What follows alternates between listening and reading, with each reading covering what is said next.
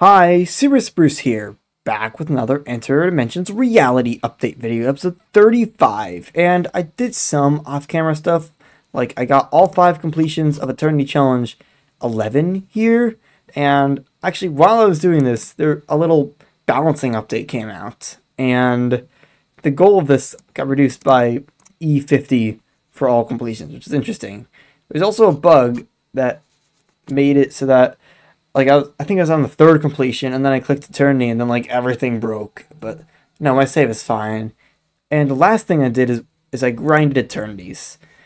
Um, just because like there wasn't really anything else to do. I'd beaten all five iterations of the challenge and I didn't I didn't want to like wake everyone up in my dorm.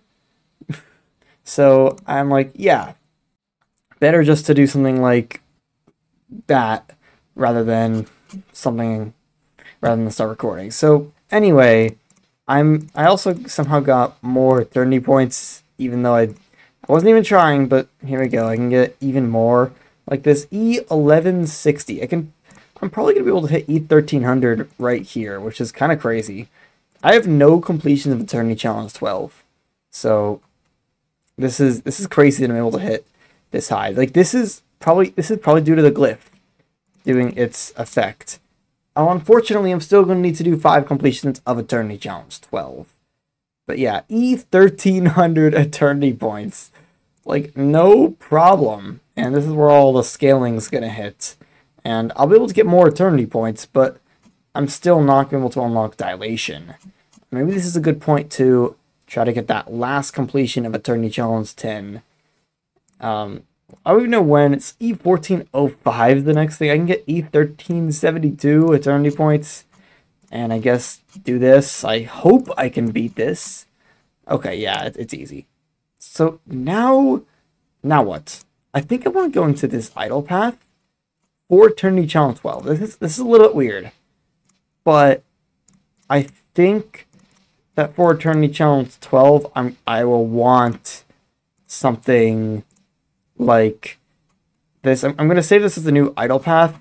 I know passive is supposed to actually be better, but I think that I'd, I'd rather just get this with the, the idle path. I think I probably want like 223, 222, definitely 232. And then going to the challenge. I could save, but the thing is that I'm actually going to do it like this so I don't get all those, I'll call them extraneous studies, even though that's probably not the right word to use, and just get the light and dark ones, just so that I don't, like, it's not going to ruin the early parts of the runs, so I do have to kind of do this just a little bit later, and then save, and then just go into the challenges. This is going to be easy. Yeah, I think this is one of those challenges that, like, really benefited from my time dimension glyph here. So you can see it takes only about five milliseconds to reach the goal of the challenge. Just, just, it's just crazy. And this means I can unlock dilation. And I kind of just want to see, before I go into dilation, just how far I'm able to get. Like previously I was able to get somewhere around E1350 eternity points. Now it looks like I can probably, I can reach about E1430, which well, it's enough to start getting more time dimension upgrades, but it's not enough to get any more eternity point multipliers, so it's not actually gonna allow me to get farther. It is interesting just to see this. Like you can see, like, yeah, a couple more orders of magnitude, but not that much. It's better just to start going into dilation. So that's what I'm going to do. Dilation, I probably want to make a dilation build I'm not really sure what's the most optimal at this point, but I can, well, I'm, I can try. Dilate time. I hopefully, okay, it at least it's easy to gain our first tachyon particles. And this is where things are going to start getting interesting because I have a three times boost to dilate time and a three times boost to tachyon particles. So this means that the whole dilation phase is going to be a lot quicker and you could see just from the first two upgrades how much quicker it's going to be. Like you could see it's only, even this third upgrade is only going to take like 10 seconds, and then 5 seconds to reach this upgrade. So, yeah, it's pretty cool. Now, this is not going to really get me very far in Eternity Points. It's enough to start getting the next Eternity Point multiplier, except that's not really all that good. I probably want to just enter Dilation, and uh, just for the dilated time. But actually, maybe this is a good time while I'm waiting. Um, well, I can get this upgrade, which isn't going to do much now, but whatever. While I'm waiting, I can maybe concoct a dilation build. So what what do I want to do for dilation? Um, I probably want to get, well, I'm just going to get this for now. In dilation, I'm overwhelmingly going to be idle, although there is the time dimension multiplier equal to replicanti amount. Although, or no, no, not that. The, the, the replicanti galaxy amount, that's what I mean. And I, I'm not sure what's better in dilation. Because the thing is that dilation runs usually are very long because of how they I get twice the amount of dilated time while I'm in them. So I feel like idle would be better in a situation like this. Now, I'm not sure if this is quite the right decision. Also, I can pick another path. First split, go time dimensions, and then get all of these. The real thing is the light and dark study. I think I still want to go 228. I I think I might want to go 223 for dilation. I'm not sure. Maybe I would actually need to be in dilation for this. There's also stuff like 221 versus 222. I'm pretty sure 222 is better. The big one here is 225 versus 226. I think that 225 is better, at least in the long run. So that's what I'm going to go with. There's also 223 versus 224. I'm going to... Actually, what I can do here is I can I can actually try going into dilation. Like, here's a triple the amount of tachyon particles gained. So, we can see actually how many dimension boost I'm getting in dilation, so I can see what's better. And yeah, 223 is definitely better. 232 is like always stronger than 231, or at least that's what I think, so I'm just going to go with that. And then there's the 233 versus 234.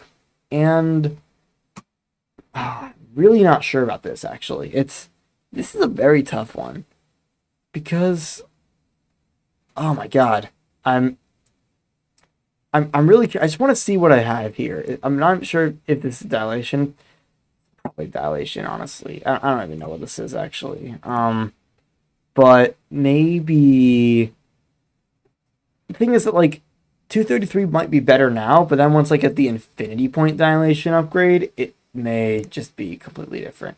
There's also like when I get more infinity points, I can get more of the dilation, more more not infinity points, more, more infinity points. I can get more replicanti because I barely have any interval upgrades here. So I probably I'm not sure what to go for honestly. I'm I'm gonna I'm gonna do 234, I guess, and then call this dilation. Um, I'll just call it dill. Um, and so this is going to allow me to get E4 tachyon particles. There's also this, which, yeah, it'll, it'll help a little bit. Um, and then I should probably honestly just go right back into dilation. And things are starting to slow down. Unfortunately, even within dilation. Actually, no, it's not too bad here. It takes like 15 seconds to get the next doubler, and then it's probably going to take like 10 seconds to reach another threshold upgrade. But the thing, the big thing here is that dilation will always become slow because this is not New Game Plus Plus Plus. We don't have make the tachyon particle formula better, which really, like that upgrade helps so much it's the only reason why I'm able to get all the way to like E40 dilated time and unlock meta dimensions and New Game Plus Plus Plus. Here, I just have to deal with the crappy vanilla game version of dilation, and it's not all that exciting, honestly. Like, there's triple the amount of tachyon particles gained here, but I, I mean, it's really just the same thing over and over again. Just keep going to dilation until I get all these upgrades. So I think I'm just gonna do the rest of these off camera because I mean actually no. Well, I'm not sure. I probably want to do it off camera though. I mean, this maybe except for the interesting upgrades. So yeah, see in a bit. Well, here's an interesting upgrade coming up. It's just the time dimensions are affected by the Replicanti multiplier. It isn't actually that good, but I guess it's something. I, I mean, honestly, for dilation runs, it's kind of a crappy upgrade. But whatever, it's something, at least. Okay, the next interesting upgrade here is this one. You can buy all three time study paths from the dimension split. So I guess I can just get this save this into the dilation build, and then continue onward. There really isn't actually, I mean, it's okay, but it actually isn't that good. Like you can see, it was at like 7E3, now it's 2E4. So it's not like that's gonna help all that much. I mean, maybe I should disable dilation, but you can see the, the upgrades are now not seconds away, but minutes away. So I mean, it's still significantly faster. Like, this is nine times faster than what it would be, like, normally. And then another two times faster, at least before the reality update, because of this achievement reward. Gain two times out of time. And time theorems, which don't really matter at this point, because that's the other thing. I am going for the telemechanical process here, which, I mean, auto buyers for the time dimensions and five times EP multiplier? Yes, please. Like normally, like actually, what's interesting is that in New Game Plus Plus Plus, you unlock them through an achievement in the meta dimensions era. It's like around E60 dilated time, but in this game, it's different.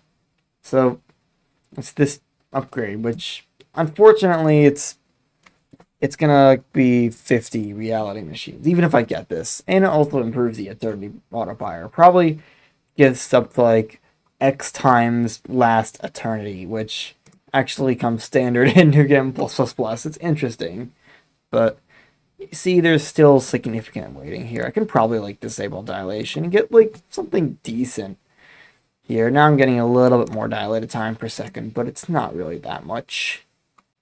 Well, there's one more interesting upgrade here, which does reduce the dilation penalty, which is okay. It actually actually is pretty good. It's better than I expected. It, it about doubles the amount of tachyon particles I gained, but even that, the next upgrade is still about three minutes away. So, I mean, it will get a little bit faster because I'll get this doubler, then a tripler, then a more galaxies and then the infinity point upgrade. So this actually isn't all that bad. Like 10 to 15 minutes for everything up to the infinity upgrade. Like this would normally take two, two, three hours. I mean, of course, I'd still like it to be a lot faster. And I'm pretty sure I'll be able to do it in under a minute once I get, like, paradoxically attain. Is only 15 reality machines. So I'm, I'm super excited for that, but unfortunately, we have to deal with the reality that we're in, which is this one. Okay, it's been, I don't know, five, ten minutes, and I can get the infinity point dilation upgrade. And this one is just, it's pretty good at getting me tachyon particles, but the big thing here is that I'm going to, actually what I'm going to do, I'm going to respec time studies on next eternity so I can start, it's usually around here, where I can start really making progression outside of dilation. So yeah, that's what I'm going to do. I'm going to load, um, I think, I think I just load active and then uh, dilation. Actually, I don't even need dilation here, but you can see just how many eternity points I'm getting with this. So yeah, it's. I mean, it's mostly just because of like the tachyonic galaxies or tachyon galaxies. I keep saying tachyonic because New Game Plus Three R calls it that, but whatever. It's enough to start gaining eternity points, and this is where I think the focus is going to shift to trying to get this upgrade. But that is next episode. So hope you enjoyed. Peace out.